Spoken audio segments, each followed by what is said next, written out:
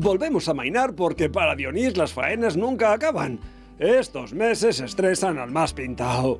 Bueno, pues hemos terminado de sembrar el trigo, ¿vale? Y ahora toca rular. Esto lo hacemos para dejar el suelo llano, ¿vale? O para que la cosechadora no salte, para que la recolección sea más fácil.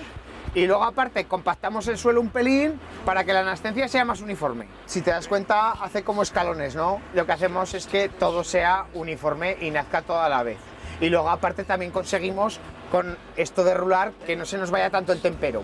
Ahora estamos un pelín justos de tempero para que nazca. Si lo dejamos como en saltos, es más fácil que se vaya el tempero. Entra más el aire, entra más el sol y se evapora más el- la poca agua que puedan tener. Y esto solo se hace tras la siembra. Solo lo hacemos después de la siembra. Hay alguna vez que también lo hacemos antes, pero depende de la faena previa que hayamos hecho. Por ejemplo, eh, este campo lleva una labor de vertedera, una labor de cultivador y sembrar y rular, ¿vale? Pues hay veces que si se queda la tierra muy hueca y queremos sembrar rápido detrás de la vertedera, hay veces que damos una pasada de, de rulo antes de sembrar.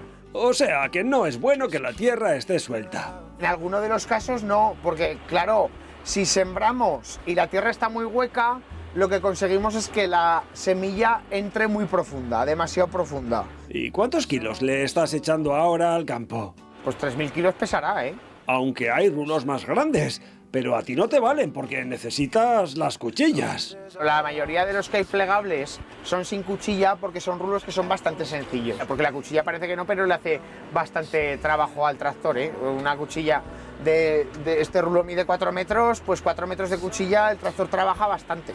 ¿A qué velocidad tienes que ir? Depende un poco de la tierra. Esta la verdad es que al estar recién sembrada y ser tierra así que lleva mucha piedra, pues se compacta fácil aunque pase rápido. Pues sí que es verdad que tampoco puedes ir como un avión. Tienes que ir a una velocidad prudencial para que compacte bien. Cuando pasa un tiempo y le cae un agua, pues se pone un pelín dura ya. Entonces ya sí que hay que ir más despacio porque si no pasa, si no haces nada, no, no aplanas nada. Si pongamos a- hubiese llovido ayer, sembramos el campo porque hay que sembrarlo, porque el trigo ya nos pasamos de ciclo y tal, pues recién, recién llovido no se puede rular, porque lo pones como un camino. ¿Cuál es el ciclo del trigo entonces?